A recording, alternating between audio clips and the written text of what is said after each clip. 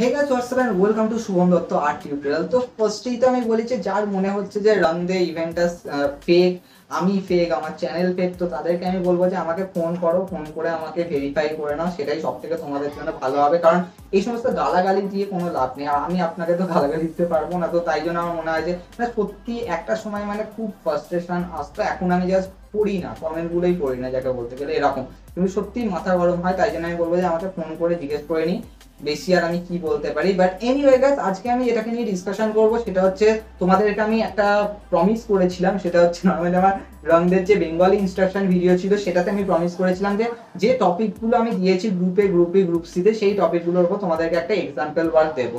আর আমি ভাবলাম যে হ্যাঁ চলে, এটার উপরে আমাকে বেশি ফোকাস করতে হবে, কারণ এখন একটুখানি সময় আছে, তো তাই জন্য তোমাদের বেশ কিছু কাজ দিই তোমাদেরকে এক্সাম্পলগুলো দেওয়ার চেষ্টা করি। তো তাই জন্য অবভিয়াসলি আজকে টপিক অবজারভেশন স্টাডির কোনো ওয়ার্ক আসেনি। তবে যখন ওর ইভেন্ট আসবে, তখন আমি ওইগুলো করব। এখন অনেকে এখনও ভাবছে যে ওর ইভেন্ট আবার কি? হ্যাঁ আমরা টপিক অবজারভেশন স্টাডি আমি তোমাদের বলেছিলাম যে এটা কিন্তু যথেষ্ট তোমাদের পড়াটা খুব দরকার। অনেকে দেখলাম আমাকে ডিফারেন্ট ডিফারেন্ট সিনের ছবি তুলে পাঠাচ্ছে, বলছে, দাদা, এর মধ্যে চুজ করো যে কোনটা বাড়িতে প্র্যাকটিস করব। তো আমি ওদেরকে চুজ করে দিই। তবে হ্যাঁ তোমরা, তোমাদের তো অনেক সুবিধা। অনেকে মানে একটুখানি গ্রাম এরিয়া বলব না, কিন্তু হ্যাঁ এমন এমন এরিয়াতে থাকে যেখানে খুব ভালো সিন থাকে। ভাই, আমাদের শহরে তো মানে সিন নেই, সত্যি সিন নেই। আমি মানে আমাকে তখন বুঝতে হবে যাকে বলতে গেলে তো তাই জন্য। বাট হ্যাঁ তোমাদের তোমরা অনেক সিন পাচ্ছ। সেটা খুবই ইন্টারেস্টিং আর তোমাদের প্রচুর ভালো প্র্যাকটিস হবে। এনিওয়ে এবার যদি আমি রং দিতে আসি, তাহলে হচ্ছে যে আমাদের এই যে তিনটে টপিক আছে, তো আমি বলেছিলাম যে এই তিনটে টপিকের উপর কাজ দেবো। তার জন্য আমি অলরেডি আজকে একটা ওয়ার্ক দিয়ে দিয়েছি। এটার আউটলাইন দিয়েছি, কালকে তোমরা কালার পাবে, এইভাবে বেশ কিছু ওয়ার্ক আসবে। এবার হ্যাঁ কয়েকজন আমাকে আস করছিল মানে বলছিল এই যে, এই টপিকগুলো খুবই টফ মানে ছোটদের জন্য এই টপিকগুলো কেন দেওয়া? তো আমি তাদেরকেও বুঝিয়েছি, তো এই ভিডিওটা ওই জন্যই করা। তো দেখো ফার্স্ট অফ অল তো বলেছে, এই তিনটে টপিক আমি নিজে মাথা দিয়ে হ্যাঁ আমারও মনে হয়েছে যে হ্যাঁ এই টপিকগুলো আনাটা খুব দরকার, কিন্তু স্কুলে দিয়েছে মানে তাদের কোনো একটা অ্যাপ্রোচ আছে। শুধু এই নয় যে স্কুল তোমাকে এই টপিক মানে তোমাদেরকে টপিকগুলো দিয়েছে, শুধুমাত্র তোমাদের না, তোমাদের বাবা মায়েদেরকে প্রেশার দেওয়ার বাবা মায়েরা ড্রয়িং টিচারদের প্রেশার দেবে, এটাই স্বাভাবিক। মানে আমার মনে হয় যে হ্যাঁ টিচারগুলো তো জানে যে ভাই বাচ্চাগুলো এগুলো পারবে না মানে এই বয়সে তো আসবে না। মানে যারা খুব এমন মানুষের সাথে লিঙ্কড আছে যে যে তাদেরকে বোঝাতে পারবে আদারওয়াইজ তারা পারবে না সিরিয়াসলি তো কেন দিচ্ছে? কিন্তু সিরিয়াসলি আমার তখন মনে হয় যে হ্যাঁ এটা দেওয়ারও তাদের কোনো একটা পারপাস আছে, তাদেরও কোনো একটা অ্যাপ্রোচ আছে, বাচ্চাদেরকে কিছু বোঝানো। তো তাই জন্য তারা দিচ্ছে বাট এনিওয়ে এটা তো আলটিমেটলি তো প্রেশারই বাবা মায়েদের উপরই পড়ে, কারণ আলটিমেটলি তাদেরকেই শেখাতে হয়। কারণ সব ছোট, চার বছর বয়সে ওদেরকে কি করাবে? তো সত্যি বলতে গেলে আমি প্রত্যেকটা গ্রুপের যে টপিকগুলো সেইগুলোর উপরে আমি একটা একটা করে কাজ দেবো। তবে হ্যাঁ গ্রুপ এতে আমি একটু বেশি কাজ দেবো, কারণ তোমরা অনেকে যেহেতু ছোট, তাই তোমাদেরকে মিনিংটা যথেষ্ট ডিফারেন্ট ডিফারেন্ট ভাবে বোঝাতে হবে, না তো তোমরা বুঝতে পারবে না। গ্রুপ বিতে আমি একটাই কাজ দেবো, কারণ ওখানকার টপিকটা খুবই মানে অনেক ডিফারেন্ট হতে পারে, প্রচুর প্রচুর হতে পারে। তাই জন্য আমি একটা পিক করব, আর গ্রুপ সি এর ক্ষেত্রে আমি একটা পিক করব। তবে হ্যাঁ একটুখানি আমি ইউনিক করব, কারণ অলরেডি আমাদের ইন্ডিপেন্ডেন্স ডে সেলিব্রেশনের উপর ড্রয়িং আছে। আমার চ্যানেলে আছে, তোমরা খুঁজতেই পেয়ে যাবে। আমার সাবজেক্টিভ ব্র্যান্ড প্লেলিস্টে যাও, ওখানেই পেয়ে যাবে। বাট এনিওয়ে গেছে আমি যদি মানে গ্রুপ এ এর কথা বলি, তাহলে ভাই গ্রুপ এতে যেটা আছে আওয়ার ন্যাশনাল ফ্ল্যাগ তো আমি অলরেডি বলেছিলাম যে আওয়ার ন্যাশনাল ফ্ল্যাগ শুধুমাত্র ফ্ল্যাগ আঁকলেই চলবে না, এর একটা ক্রিয়েটিভ কিছু অ্যাপ্রোচ তোমাকে দিতে হবে বলতে গেলে এটাকে ইউজ করতে হবে কোথাও। তো আমি অলরেডি আজকে একটা ভিডিও তো দিয়েছি, ওখানেও তোমরা আইডিয়া পাবে, তোমরা এই ভিডিওটা ভালো হবে দেখো। ভয়েসটা ফলো করে, এর মিনিংটা আমি কি রাখার চেষ্টা করেছি? তো মেনলি দেখো আওয়ার ন্যাশনাল ফ্ল্যাগ এটার অ্যাকচুয়ালি মানেটা হচ্ছে যে তোমাকে কিন্তু এই ব্যাপারটা বুঝতে হবে যে ন্যাশনাল ফ্ল্যাগে অ্যাকচুয়ালি মিনিং তার ইম্পর্টেন্স কি, তার গুরুত্ব কি, তার সম্মান কতটা ন্যাশনাল ফ্ল্যাগের যে আমাদের যে তিনটে রং, তেরাঙ্গার যে তিনটে রং, ওই তিনটে রঙের মিনিং কি, তার, সেগুলো কিসের কিসের প্রতীক ইভেন অশোক চক্রর কি মিনিং ওইগুলো বুঝতে হবে। আর আমার এটাই মনে হলো যখন আমি কাজগুলো করছিলাম যে অ্যাকচুয়ালি টপিকটা দেওয়া কিন্তু খুব দরকার ইভেন ছোটদের দেওয়া তো আরও বেশি দরকার, কারণ তারা ছোটবেলায় খুব ইজিলি সমস্ত জিনিসকে ক্যাচ করতে পারে। খুবই স্বাভাবিক। ক্যাচ তো করবে। ওদের ব্রেন যথেষ্ট বেশি মানে ম্যাচিওর বলব না, কিন্তু যথেষ্ট বেশি অনেক কিছু ক্যাচ করে নেয়। এই স্মার্টফোন যা চালাচ্ছে তাতে আর কি করব তবে আমাদের সময় ছিল না। আমরা অন্য জিনিসকে ক্যাচ করতাম, কিন্তু ছাড়ো এনিওয়ে বাট হ্যাঁ আমি যেটা মেন কথা যেটা বলছি, সেটা হচ্ছে ছোটদের কিন্তু এই টপিকগুলো খুবই দরকার। যেমন দেখো, একটা বাচ্চাকে যদি তুমি মানে ড্রয়িং শেখাতে শেখাতে যদি এগুলো বলো যে একটা ন্যাশনাল ফ্ল্যাগের ইম্পর্টেন্স দিকে আমাদের ইন্ডিয়ান ফ্ল্যাগে তার যে তিনটে রঙের গুরুত্ব কি, তার তিনটে রঙের যে প্রতীক সেইগুলো কি, তার যদি মিনিংগুলো বলো তাহলে কিন্তু খুব ইজিলি কিন্তু তারা ক্যাচ করতে পারে। তাই আমি বাবা মায়েদেরকে বলব যে, অনেকেই আমাকে বলছিলেন যে এই টপিকগুলো খুবই টাফ কিন্তু যদি ভালো মতো ভাবে বোঝেন তাহলে এই টপিকগুলো কিন্তু তাদেরকে খুব দরকার। কারণ এই ছোট বয়স তারা ড্রয়িং এর মাধ্যমে কিন্তু এই জিনিসগুলো বুঝতে পারবে। তারা বুঝতে পারবে আমাদের স্বাধীনতা দিবসের গুরুত্বটা কি, কেন আমরা এটাকে পালন করব, এই যে আমাদের তেরঙ্গা পতাকা, এর কি মিনিং এইগুলো কিন্তু ইজিলি বুঝতে পারবে। আর এই যে আবার ন্যাশনাল ফ্ল্যাগে যে ক্রিয়েটিভ যে ব্যাপারটা আছে না এটার মেন কারণটাই হচ্ছে এটা যে যাতে বুঝতে পারে যে ইম্পর্টেন্সি গুলো কি। আপনি যখন তাকে একটা ছবি আঁকা শেখাবেন, শুধুমাত্র যে ফ্ল্যাগ যদি আঁকা শিখিয়ে দেন, তাহলে বোঝান যে কি তিনটে রং কেন দিচ্ছি, কেন? মানে এই রংগুলোই কেন? তো এই রংগুলো কিসের প্রতীক? সেইগুলো বোঝান। তার থেকে শুরু করে এই ফ্ল্যাগের যে একটা আলাদাই সম্মান আছে, তাকে দিয়েও কাউকে যে সম্মানিত করা যায়, তো এই জিনিসগুলোকে বোঝান, তো এইগুলো কিন্তু যথেষ্ট বেশি দরকার। তো আমিও আমার যে সমস্ত ওয়ার্ডগুলো তোমরা দেখতে পাবে নেক্সট উইকে আসবে অলরেডি আজকে একটা আউটলাইন এসে তো ওগুলোর মধ্যে আমি এগুলোকে ঢুকিয়েছি। তাই আমি বলব যে আপনাদের বাচ্চাদেরকে এই ভয়েসগুলোকে শোনান, বা আপনারা শুনে সেগুলোকে ওদেরকে বোঝানোর চেষ্টা করুন, খেলার ছলে আঁকা আঁকা শেখানোর ছলে, আঁকা করানোর ছলে মানে ওরা যাতে করতে করতে এই আইডিয়াগুলো যাতে গেন হয়, তাহলে কিন্তু ওরাও কিন্তু ব্যাপারটা বুঝতে পারবে। তো তাই জন্য আমার মনে হয় যে হ্যাঁ এই টপিকগুলো যথেষ্ট বেশি পারফেক্ট কারণ স্কুলে দিয়েছে মানে যথেষ্ট বেশি অ্যাপ্রোপ্রিয়েট মানে তাদেরও একটা পারপাস যে বাচ্চাদেরকে এগুলো শেখানো। তো অবভিয়াসলি আমি বলব যে গ্রুপ এর টপিকটা একটুখানি টাফ লাগলেও এটা কিন্তু যথেষ্ট ইজিলি মানে জিনিসটাকে বোঝাতে হবে। কারণ বাচ্চাকে এখন যত শেখাবেন, তত তারা আইডিয়া পাবে। এবার যদি আমি গ্রুপ বি এর কথা বলি, তো গ্রুপ বিতে ছিল হচ্ছে আওয়ার হিরো আর হিরোইন তো একটা মানুষ, তার কি কৃতিত্ব রয়েছে আমাদের দেশ স্বাধীনের পেছনে, সেটাও কিন্তু জানাটা খুব দরকার।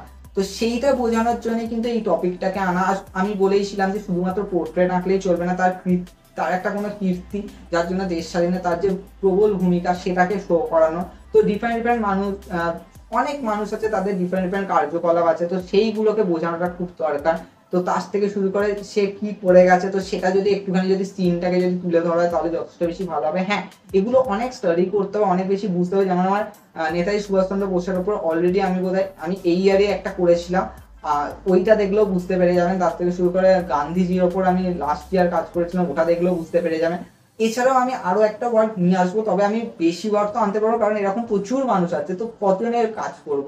তো আমি একজনের আনব আর খুবই সিম্পল ভাবে করব অ্যাজ এ গ্রুপ বি যত বছর বয়স, তার জন্য একটা অয়েল প্যাস্টেলের ওয়ার্ক আনব, তাতে ইজিলি আইডিয়া পেয়ে যাবেন, আর আপনারা চেষ্টা করবেন যে ওরকম ভাবে অন্যান্য মানুষের স্টোরি লাইন থেকে ওইভাবে জিনিসটাকে তুলে এনে রেডি করা, কারণ এগুলো কিন্তু পড়ালে কিন্তু যথেষ্ট বেশি বাচ্চারা শিখবে। মানে একটা মানুষ কি করে গেছেন তো সেটা জানতে পারবে। মানে স্বাধীনতা দিবসে তার গুরুত্ব কি? কেন তাকে ট্রিবিউট এটা একটা ট্রিবিউট ওয়ার্কই তো স্বাভাবিক ব্যাপার। তো এটা কিন্তু বোঝাটা কিন্তু খুব দরকার। তো তাই জন্য আমার মনে হয় যে এই টপিকটা যথেষ্ট পূর্ণ যথেষ্ট পরিমাণে যথার্থ। আর এটাও কিন্তু স্টাডি করাটা খুব দরকার। এবার যদি আমি গ্রুপ সি এর কথা বলি, তাহলে গাইজ গ্রুপ সিটা হচ্ছে ইন্ডিপেন্ডেন্সের সেলিব্রেশন তো সত্যি বলতে গেলে আমি যখন ছোট ছিলাম, তখন আমি দেখতাম যে হ্যাঁ আমাদের প্রচুর বন্ধু তো ছিল। স্বাভাবিক স্কুলে অনেকই স্টুডেন্ট ছিল, কিন্তু ইন্ডিপেন্ডেন্স ডের দিনকে অর্ধেক জনই স্কুলে যেত না। হ্যাঁ এটা হয়েছে, এটা তোমাদের হয়তো স্কুলে হয়েছে কিনা জানি না, কিন্তু আমার সময় আমি দেখতাম যে অনেকে যেত না। তো যখন জিজ্ঞেস করতাম, বলতো যে, ধুর, ও গিয়ে কি হবে? ওই তো লজেন্স বিস্কুট মানে সবার মনে হতো এই লজেন্স বিস্কুটের জন্য কে যাবে? এরকমই মানে জানি না মানে তাদের কি আলাদা মেন্টালিটি তবে হ্যাঁ অনেক কিছু দেখেছি মানে ইন্ডিপেন্ডেন্স ডেতে কত কিছু হতো সেই গান থেকে শুরু করে গান, নাচ, তারপর কবিতা, তারপর ওখানে নাটক হতো মানে একটা আলাদাই সেই ক্ষুদিরাম বোসের আমি দেখেছিলাম, আমাদের স্কুলে হয়েছিল, তো অনেক কিছু কিন্তু হতো মানে একটা এখান থেকে কত কিছু জানা যায়, কিন্তু আজকের বাচ্চারা তো মানে যাই না মানে যাকে বলতে গেলে মানে প্রচুর বাবা মারা ভাবে যে এর থেকে ভালো বাড়িতে স্যারদেরকে ডেকে এনে পড়িয়ে দিই মানে এরকম যাকে বলতে ছুটি পেয়েছি এখন পড়িয়ে দিই, এরকম বলতে গেলে। তো আমার মনে হয় যে এটা ইম্পর্টেন্সিটা বোঝানোটা দরকার। তাই ইন্ডিপেন্ডেন্সের সেলিব্রেশন যদি তুমি নাই দেখো, তাহলে তুমি আঁকবে কি? তো তাই জন্য আমার মনে হয় যে আঁকার মাধ্যমে আপনাদের বাচ্চাদেরকে বোঝান যে কি কি হয়। মানে ফ্ল্যাগ পোস্টিং ছাড়াও আরও অনেক কিছু হয়। তো সেইগুলোকে বোঝানোটা খুব দরকার। তবে হ্যাঁ আমি একটা নিয়ে আসব ওয়ার্ড সেটা একটুখানি অন্যরকম হবে। তবে হ্যাঁ তোমরাও ভাবো, আপনারাও ভাবুন যে কীরকম কাজ করা যায়। তো তাহলেই হবে আমার মেন বক্তব্য। তবে হ্যাঁ ডিফারেন্ট ডিফারেন্ট ওয়ার্ক আনার চেষ্টা করো ডিফারেন্ট ডিফারেন্ট কাজ করার চেষ্টা করো, সবাই আবার একই কাজ করে দিও না। হ্যাঁ আমার কাজটাও তোমরা করতে পারো, কিন্তু একটুখানি আলাদাভাবে ভেবে, ভাবার চেষ্টা করবে। তো এগুলোকে স্ট্রাই করার চেষ্টা করে আমি তোমাদেরকে কিছু কিছু আইডিয়া দেবো অ্যাজ এ এক্সাম্পল আইডিয়া দেবো। অ্যাট দি এন্ড আমি যেটা বলব সেটা হচ্ছে যে আমার ড্রয়িংগুলো দেখে হয়তো অনেকের মনে হবে যে, বাবা এত প্রচুর কালার মিক্সিং করেছে, বাচ্চা পারবে কি করে। তো আমি বলব যে, আপনারা কালার মিক্সিংকে বাদই দিন, সমস্ত কিছুকে বাদ দিন আপনি মিনিংটা দেখুন কনসেপ্টটা দেখুন, কি ছবি এঁকেছি সেটা দেখুন। দেখবেন যে, ছবির মধ্যে যে ফিগারগুলো আছে, সেগুলো খুবই সিম্পল ভাবে করা একটা পতাকাই তো আঁকা হয়েছে। ব্যাকগ্রাউন্ডের কালার আপনারা নিজেদের মতো করে দিন বাট হ্যাঁ মিনিংটাকে ওরকম ভাবে রাখার চেষ্টা করুন। ওই আইডিয়াটাকে বা বলতে গেলে ইনার মিনিং ইনার কনসেপ্টটাকে রাখার চেষ্টা করুন। নর্মালি প্রচুর জন ভাবে বোধ হচ্ছে হিউম্যান ফিগার ভালো করে আঁকতে হবে, একটা কালার ভালো মতো মিক্সিং করতে হবে, তাহলেই যথেষ্ট ভালো ড্রয়িং হবে। কিন্তু ফাইন আর্টসের আমি এটা প্রচুরবার বলেছি ফাইন আর্টসের যখন জাজমেন্ট হয়, তখন কিন্তু আগে দেখা হয় যে একটা সাবজেক্টের ওপর স্টুডেন্ট কত ভালোভাবে কাজটা করেছে সাবজেক্টে কত ভালোভাবে ফুটিয়ে তুলেছে।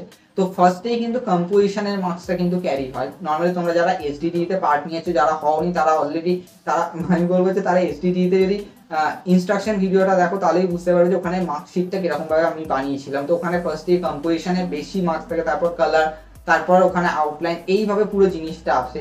তার কারণই হচ্ছে আগে দেখে যে সাবজেক্টটা কত ভালো বুঝেছে একটা স্টুডেন্ট তারপরে তার কালার দেখে, তারপরে তার ড্রয়িং দেখে, সেইগুলো কিন্তু তারপরে আছে তাই জন্য আমি বলব যে আগে কনসেপ্টকে ভালোভাবে বোঝো কনসেপ্টের আইডিয়াটাকে বোঝো মিনিংটাকে বোঝো, তারপরে সেটার উপর কাজ করো। কারণ দেখো তুমি এক বছর, দু বছর প্র্যাকটিস করবে, তুমি আঁকা শিখে যাবে। তুমি হিউম্যান ফিগার ভালো মতো আঁকতে শিখে যাবে, তুমি কালারও যথেষ্ট ভালো করতে শিখে যাবে, কিন্তু আইডিয়া পেতে হলে কিন্তু তোমাকে প্রচুর এইগুলোকে নিয়ে ভাবতে হবে। তখন ওই খালি প্র্যাকটিস করলে চলবে না। আইডিয়া তখনই আসবে যখন তুমি দেখবে, লোকেদের সাথে কথা বলবে বা আমি বাবা মায়েদেরকেও বলব যে আপনারা এইগুলো আইডিয়া দিন, তার সাথে ওইগুলোকেই আঁকানোর চেষ্টা করুন। কারণ ড্রয়িং আঁকছে মানে শুধু যে মানে কি বলব, ফুল, কলা এরকম এইসব আঁকা না এইরকম আঁকানোর চেষ্টা করুন অ্যাট দি এন্ড এটাই বলব যে কম্পিটিশনটা পার্ট নাও ফ্রি অফ কস্টই তো আছে, বেশি তো কিছু নয়। পার্ট নেওয়ার চেষ্টা করো, নিজেকে একটা প্রিপেয়ার করার চেষ্টা করো। আর হ্যাঁ বড়দের যারা বলছে যে ইভেন্ট কবে আসবে, তো তাদের জন্য আমি টপিক অবজারভেশন আর স্টাডির একটা আলাদাই ইভেন্ট আসছে, তো ওটার জন্য তোমরা বাড়িতে প্রিপেয়ার হও, অনেকে অলরেডি হচ্ছে। তো ক্যারি ওয়ান তোমাদেরটা তো আরোই আলট্রা লেভেলের হবে বাট এনিওয়ে দেখা হবে নেক্সট ভিডিওতে আর হ্যাঁ তোমরা এগুলোকে কিন্তু প্র্যাকটিস করতে থাকো। আমি প্রত্যেক মানে সপ্তাহে কিন্তু আমার প্রত্যেকটা ভিডিও কিন্তু আসছে।